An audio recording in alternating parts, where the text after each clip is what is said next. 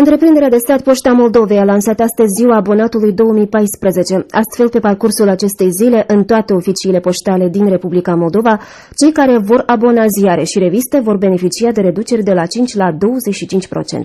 Detalii în materialul semnat de Elena Răileanu. În pofida dezvoltării accelerate a tehnologiilor moderne de la an la an, suma abonării în această zi nu este în descreștere, a declarat în discursul său directorul general al întreprinderii de stat Poșta Moldovei, Serghei Nastas. A devenit deja o frumoasă tradiție.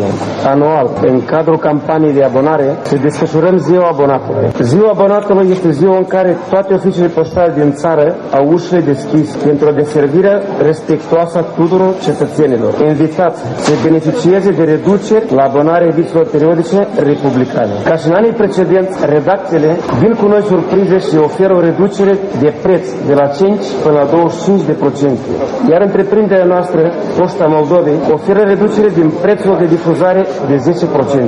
Și pentru stimularea celor mai activi abonați, astăzi, în oficiul central, avem amplasată tombola cu extragerea premiilor pentru cei mai activi abonați. De asemenea, am oferit spații redacțiilor care au solicitat să participe la desfășurarea acestei măsuri cu acordarea surprizelor potențialelor abonați. E relevant faptul că din an în an suma abonării obținută în ziua abonatului nu se micșorează. Se denotă faptul că cetățenii noștri nu sunt indiferenți de evenimentele interne și externe reflectate în edițiile periodice. Directorul general al întreprinderii de stat Poșta Moldovei, Serghei Nastas. La rândul său, viceministrul Tehnologiei Informației și Comunicațiilor, Vitale Ciolac, a subliniat necesitatea editării catalogului special special al ziarelor și revistelor. Pornind de la ideea că întreprinderea de stat Poștă Moldovei este o întreprindere cu 5.000 de lucrători și oficii poștale în fiecare localitate din Republica Moldova, este cel mai indicat că anume Poștă Moldovei să organizeze astfel de activități. Acordarea de facilități atât de editori de presă cât și de Poștă Moldovei pentru abonarea în această zi este un argument în plus